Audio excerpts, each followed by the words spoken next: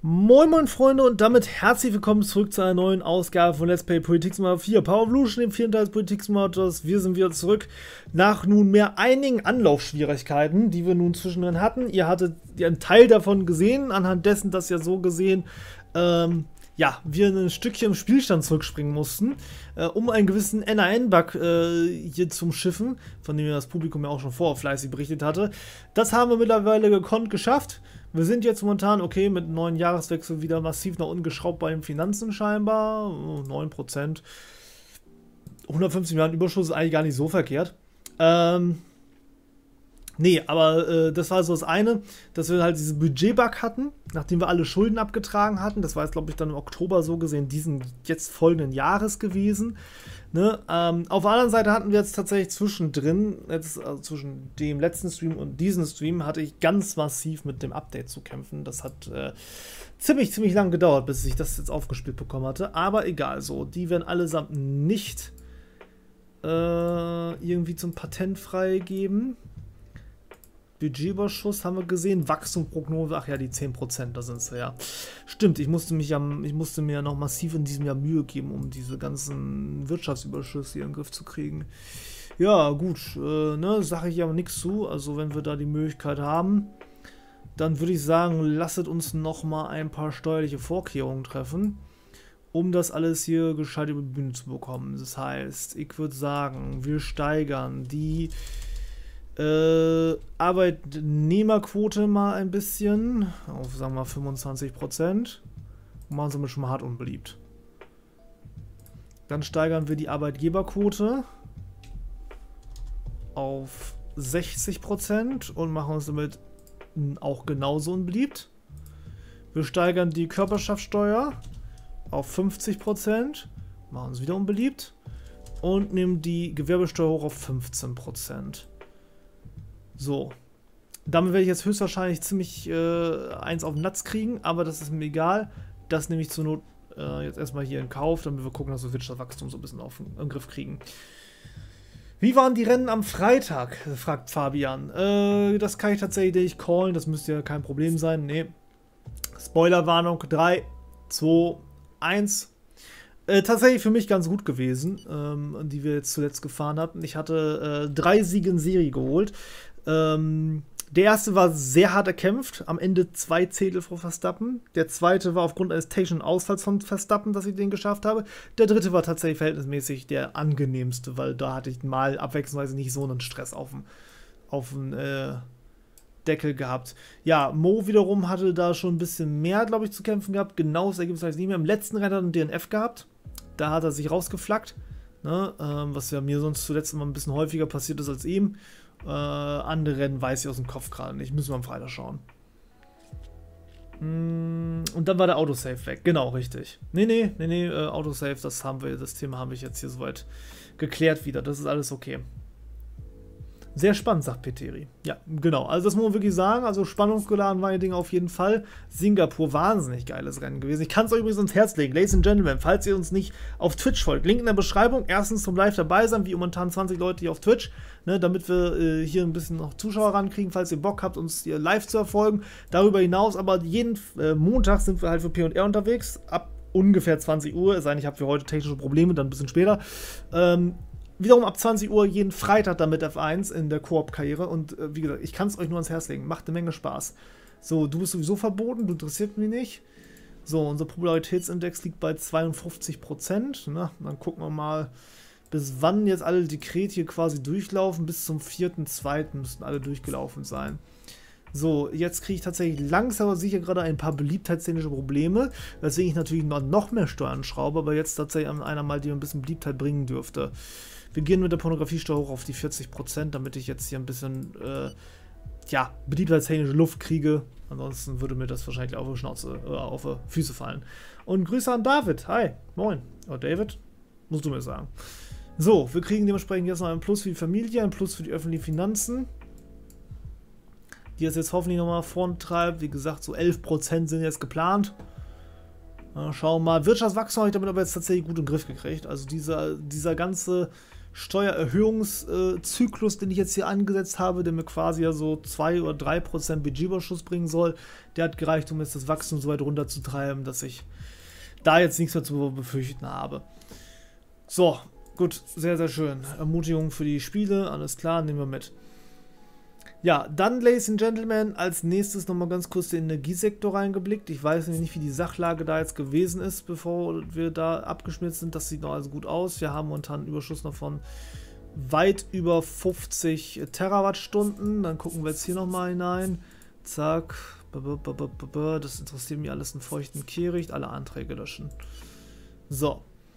Gut, und damit haben wir jetzt, glaube ich, tatsächlich alle Gesetze durchgebracht. 11% Überschuss momentan im Staatssäckel, 2% nur Wirtschaftswachstum. Perfekt, Leute, perfekt. Ich muss hier also dahingehend nichts mehr machen. Wirtschaftswachstum technisch, wenn es sich jetzt wieder erholen sollte, Richtung 5%, ist das alles gar kein Problem. Das passt super, das können wir mitnehmen. Und dann haben wir, ja, ich würde sagen, das Thema soweit schon mal erklärt. Ja, dann war es das andere Ding gewesen, genau. Wir waren noch industriell natürlich unterwegs gewesen. Wir mussten ja erst leider Gottes alles überhaupt erstmal aufbauen hier, bevor wir überhaupt an irgendwas äh, arbeiten konnten. Wobei das gerade so aussieht, als ob ich da jetzt mal tatsächlich den nächsten Schritt machen könnte. Dann lasst mal eben zusammen noch einmal kurz durch die Industrie durchschreiten, dass wir hier mal so ein bisschen nochmal ein Gefühl für die Gesamtlage bekommen. Wir haben momentan hier 2% an Produktion, das ist natürlich auch viel zu wenig. Wir gehen hoch auf 8.000 Mitarbeiter. Ach Quark, wir gehen halt auf 10.000. So, 10.000 Mitarbeiter. So, und dann möchte ich subventionieren. Ah, das geht tatsächlich sehr, sehr gut. Äh, wie viele Milliarden kann ich eigentlich dafür so in der Hand nehmen? Ja, ich denke, 2 Milliarden werden schon okay sein pro Sektor. Okay, äh, so, Geschosse. Weiter geht's. Personalbestand. Weiter auf 10.000 Mann. So, dann haben wir als nächstes noch die Subventionierung. Okay, mehr als eine Million geht nicht. Dann nehmen wir halt eine Million. Besser als gar nichts. So, Personalbestand, auch hier wird ausgeweitet auf 10.000 per Seminar. Dazu dann dementsprechend die Subventionierung. Hier geht das wieder alles ganz reibungslos. Wieder 2 Milliarden für die Geschütze. Ja gut, der Hochtiefbausektor ist jetzt nicht gerade das, was ich jetzt verstaatlichen müsste. Da kann ich das Personal einfach anpassen. Wir gehen hier nochmal auf 450.000 Mann. So, Macht euch über die Kosten da noch keine Gedanken. Das wird so mit der Zeit eingebucht und nachgebucht. Dann dürfte das passen. So, Hochgeschwindigkeitsraketen. Gehen wir auch wieder hoch auf 10.000 Mann. Haben wir Möglichkeit der Subventionierung? Nein, haben wir nicht. So, Hubschrauber. Da haben wir 1% der Gesamtproduktion. Wir erhöhen auf 10.000 Mann. Wir gehen auch hier wieder 2 Milliarden rein. Das dürfte dann hoffentlich reichen. Kampfflugzeuge, da fehlt sicherlich noch an einigen. So, 10.000, 0,2% der Gesamtproduktion, da wisst ihr schon Bescheid. Äh, Subventionierung, auch frei verfügbar. Auch nochmal mit 2 Milliarden reingebuttert. Panzer, Panzerwagen, 1% der Gesamtproduktion. So, wird auch aufgestockt. So, die Raketenproduktion, die allgemeine. War ich schon auf 8000 Mann, würde ich sagen. Gehen wir auf 20.000. Na, 15.000. 15.000 Mann Personal, 5% mittlerweile auch da an Produktionsgut. Das ist gar nicht so verkehrt. Da haben wir auch schon ein Stück subventioniert, sehe ich gerade. 700 Millionen ist das Maximum. Dann dürften wir da recht schnell zumindest die Vorherrschaft kriegen. Hier sind wir noch nicht so weit, dass wir das äh, aufrüsten dürften. Theoretisch, praktisch werde ich zwar nachlegen, aber da wird tatsächlich noch ein bisschen was offen bleiben. Äh, kann ich aber auch mit 2 Milliarden nochmal nachsubventionieren, die Raketenabwehrbatterien. Das ist da auch schon mal ganz gut. Raketenwerfer haben sogar schon 2% der Gesamtproduktion. Ja, ihr seht das immer hier. Dementsprechend 2,2%. Das ist gut. So, wird auch nochmal dementsprechend subventioniert. Kriegsschiffbau. Klar, in den Werften müssen doch noch echt einiges an Menschen arbeiten. Da werden wir mit äh, ganz wenig äh, Möglichkeiten nicht hinterherkommen. So, 10.000 für die Nuklear-U-Boot-Produktion, da haben wir auch immer schon mal 1% von. Dürfte auch besser werden, wenn ich da jetzt nochmal was reinlege. Und dann haben wir tatsächlich die gesamte Industrie wieder nachbereitet. Sehr gut. Äh, kommen die Rennen auf dem VOD-Channel, fragt Fabian. Wenn ich die Zeit dazu hätte. Also Mo guckt zwischendurch, dass er mal ein und das andere hochlädt, aber äh, mir fehlt eigentlich total die Zeit dafür. Ich müsste es, ich weiß es, aber ich habe echt, also Lücken, Lücken. Ähm, ich weiß gar nicht, vielleicht habt ihr Glück und es könnte sogar sein, dass die auf Twitch abrufbar sind. Da müsst ihr mal schauen, das kann ich nicht garantieren. Ähm, ich habe ein Problem bei dem Spiel. Immer wenn ich starte, ja okay, äh, ich sehe gerade, ja, ja, wieder sowas. Hm. Und dann kommt eine Fehlermeldung, die habe ich bei Google eingeben, die am Anfang des Videos Namen geändert stand. Äh, nee, kann ich dir nicht sagen. Im Zweifel einfach an den äh, Support wenden vom Game. Da habe ich tatsächlich auch nicht mehr Input als ihr. Wie gesagt, also alles, was ihr am P&R spielt, das seht ihr momentan. Ja, also ich spiele nicht noch gar momentan, oh, Pakistan erklärt Afghanistan-Krieg. Ähm, spielt tatsächlich momentan nicht groß nebenher. So, äh, die Afghanen fühlen sich angegriffen und bitten um Hilfe. Die Taliban wollen Hilfe. Ah, okay. Bin mal gespannt, wer da sich jetzt hier mit dazusetzt. Ja, ich wünsche euch viel Spaß. Also ich drücke ja äh, Pakistan ja schon so ein bisschen die Daumen. Auch wenn es ein, ein schlechter Start vielleicht den anderen ersetzt, aber äh, ihr, könnt, ihr könnt da ruhig rein. Ich glaube, viel schlimmer als die Taliban geht es auch nicht. Okay, das sieht der Rest der Welt tatsächlich anders, denn Iran, Indien und China, genauso wie Israel, haben Pakistan schon mal den Krieg erklärt. Sehr lustig übrigens, dass Israel zusammen mit Iran auf einer Seite kämpft. Kann ich mir noch gar nicht vorstellen, aber egal. Sie werden wohl ihre Gründe haben. Tja, und damit würde ich sagen, viel Spaß also jetzt hier rund in die indische Ecke. Da geht es also jetzt wohl gut zur Sache, habe ich gehört. Wer kennt es nicht? Malte der ITler. Äh, geht sogar. Also es gibt wahrscheinlich Leute, die sind technisch schlechter bewandert als ich, aber äh, meine Skills halten sich auch in Grenzen. Meistens sogar recht eng.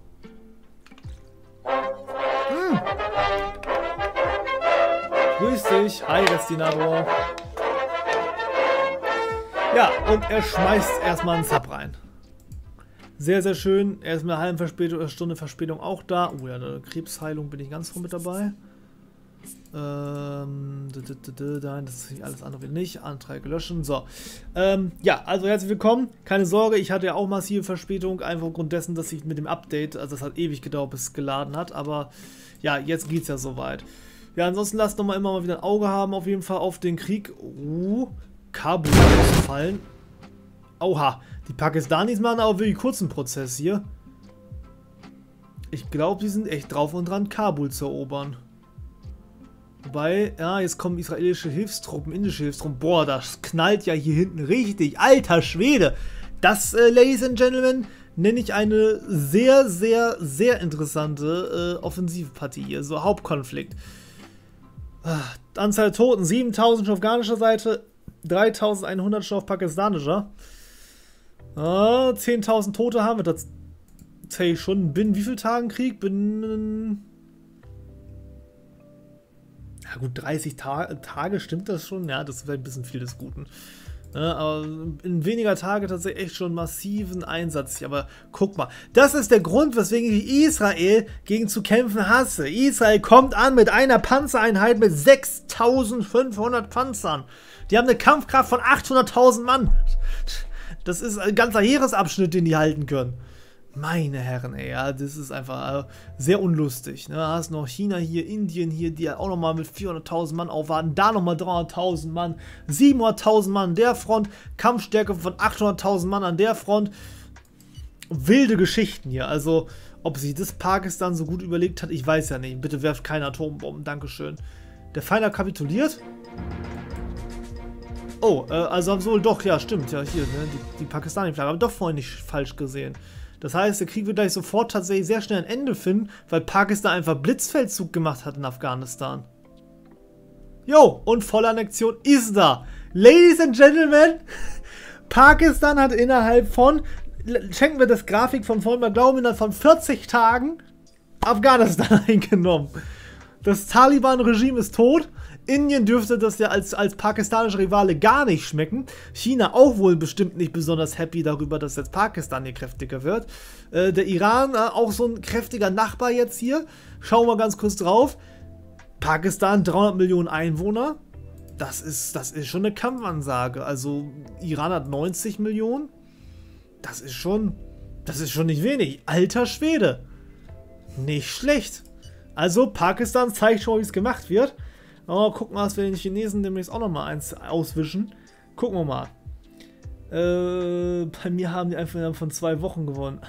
Alter Falter, einfach die Schlacht um Stalingrad. ja, das war wildes Ding, ey. Wildes Ding, Mann. Also nur einseitig anderthalb Millionen Mann an der Front. Ich habe jetzt nicht darauf geachtet, was die Pakistani da noch so gelagert hatten, aber ich denke mal, da werden ja auch wohl ein paar hunderttausend Mann dabei gewesen sein. Also ich denke mal, so, so zwei Millionen Mann waren da gerade eben beteiligt gewesen an der ganzen Geschichte. Uiuiui. So, Staatskasse mit Überschuss. So, jetzt müssen wir aufpassen. Wir müssen jetzt darauf achten, dass wir nicht alle Schulden decken. Sondern eben jetzt, äh, wie neuerdings gelernt, nur ein Teil der Schulden. Und dementsprechend werde ich die Inlandsverschuldung werde ich behalten und versuchen, die Verschuldung bei den Amerikanern und, äh, ja gut, bei allen anderen ausländischen Gläubigern halt zu tilgen. Das ist jetzt so ein bisschen mein Main-Objekt hier. Bei mir waren es keine zwei Wochen, dann habe ich mich gleich eingeschleimt, zukünftige Bündnisse und so. Das kann ich dir auch nur zu raten.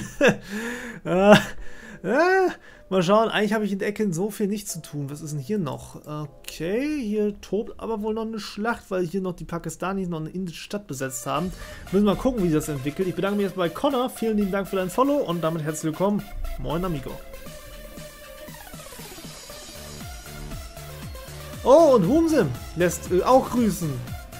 Vielen, vielen lieben Dank. Ich sehe es gerade schon vorweg. Die Einspielung müsste jetzt auch jedem noch kommen. Ja, es ist tatsächlich wahr. Es ist schon wieder Taiwan, denn wir haben noch Lücken im Uploadplan. Nächste Woche kommt aber das Kaiserreich mitsamt der Folge 200. Kann ich euch nur sehr zu anraten. So, Produktion an Antikrebschips, sehr schön. Iris-Kamera wurde entdeckt, stagnierende Arbeitslosigkeitszahlen. 6% Wachstum mittlerweile, schon wieder 6% Wachstum muss man ja sagen. Heißt, ich brauche schon wieder eigentlich einen Steuerschritt, um das hier irgendwie in den Griff zu kriegen. Heißt, die Gewerbesteuer, das ist wohl die, wo ich noch am meisten Lücke habe. Geht mal eben hoch, dann auf 20%. Aufnahme von Flüchtlingen will ich nicht haben.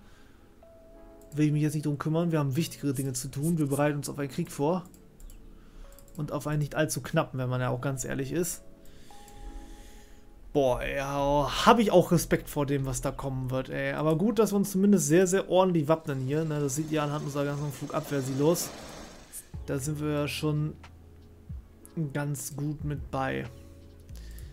So, Kamera der nächsten Generation. Nein, möchte ich nicht irgendwie geltend machen hier patentativ. Wobei hätte ich doch machen können. Ja, scheiß drauf, ist auch egal. Dann bleibt das eine Ding unter Verschluss. Oder? Kann ich das noch eben raussuchen?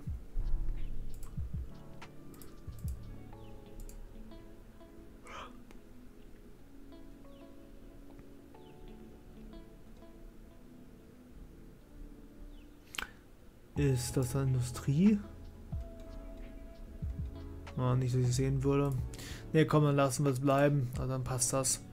So, Quersteuergesetz wurde nochmal nachgerüstet. Damit dürfte jetzt unser Wachstum eventuell gleich eingeschränkt werden. Wir warten noch ein paar Tage ab. Dann gucken wir weiter. Mir ist Taiwan lieber. Hype, Hype, Hype, Hype.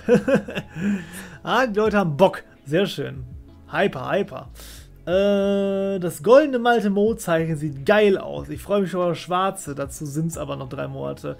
Ja, das goldene ist tatsächlich auch schon gar nicht so schlecht. Behandlung übrigens gegen Demenz. Uha, ja, sehr gut. Wird auch hier wieder kenntlich gemacht. Oh Gott, die Lage ist ernst beim Personalbestand bei den Lehrern. Ich muss neue Lehrer einstellen. Habe ich denn noch Lücken hier? ich versuche neue Lehrer einzustellen, aber ich habe kein Personal. Also es gibt keine Menschen mehr auf dem Arbeitsmarkt. Ich würde gerne was einstellen, aber es ist nichts da. Oh, Gottes Willen. Was sagt momentan eigentlich die Bevölkerungswachstum? Wir hatten das Prozentpünktchen ja schon gehabt. Ah, soll ich das noch mehr provozieren, dass wir noch mehr Wachstum haben bei Bevölkerung? Kackendreist wie ich bin, könnte ich das ja eigentlich echt nochmal versuchen zu provozieren. Ja, momentan die Arbeiter nichts zu tun haben. Die könnten ja eigentlich mal... Achso, ich darf nur in kleineren Schritten bauen. 80er Schritten. Ja, dann bauen wir mal tatsächlich jetzt hier innerhalb von 8 Monaten das nächste Zeugs hin. So, und jetzt nochmal vielleicht 70 hinterher. So, dann bauen wir jetzt nochmal massiv nochmal so eine Betreuungsstation, dass wir auf 600 da kommen. Vielleicht hilft es ja nochmal ein bisschen. Wir brauchen Arbeitslose. So sieht's aus. Wir brauchen Arbeitslose. Kleiner Tipp: Migrationsabkommen helfen echt krass. Kostet nur ein paar hundert Millionen im Jahr. Wo kriege ich diese Migrationsabkommen her, Restinator? Erklären Sie sich. Also ich äh, bin, wie gesagt, im 23 noch nicht endgültig mit dabei. Äh, Im Kaiserprojekt bin ich leider nicht mehr so drin. Äh, also bin ich leider nicht so drin insgesamt. Ja, äh, kann, sich auch, kann man auch äh, so, so, teilweise ganz gut nachholen. Äh, zum heutigen Stand der heutigen Folge. Ja, sind wir, sind wir, würde ich sagen, ganz gut dabei. Also ich würde mal sagen, das Projekt geht jetzt mehr so ins letzte Drittel hinein, das Kaiserreich-Projekt so langsam. Na, weil wir hier natürlich noch immer nicht mehr ganz in den Startlöchern stehen, das stimmt nun auch nicht mehr, aber ja, wir haben noch gut was zu tun. Ne? Also, ich sag mal, territorial betrachtet sind wir nicht besonders weit gekommen. Also von daher, gucken wir mal. Ich bin halt seit Anfang an dabei. Ja, ist auch nicht verkehrt. Wie gesagt, kommt auch wieder auf jeden Fall. Ähm, ein Meeting mit einer anderen Nation machen. Äh, dann gibt's das dann, die Antwort bekommt man aber nicht gleich, sondern erst ein paar Tage später. Macht es über den Reiter Einwanderung. Den Reiter Migration.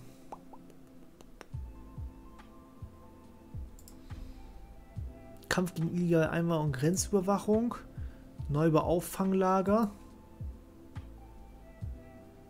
Auffanglager in der illegale festgehalten werden, bis in Land zurückgefolgt werden. Die Haftdauer ist noch immer begrenzt, ordnungsmäßiger Betrieb. Ja. Lass mal 10 Stück von den Dingern bauen, cause I can do it. Bauen von Trennmauern an der Landesgrenze macht auf hoher See halt gar keinen Sinn. Integrationspolitik festlegen. Oh, respektvoll, äh, angemessen, freundlich und attraktiv. Da ist die Mehrheit dagegen. Aber ich glaube, wir können echt ein bisschen Einwanderung gebrauchen, ne?